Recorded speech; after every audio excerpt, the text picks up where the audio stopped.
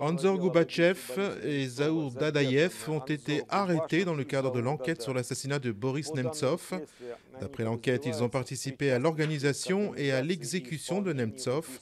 Obtenir ce premier succès sur une si courte période est une preuve du professionnalisme et de la coordination entre les agents du FCB, du ministère de l'Intérieur et du comité d'enquête.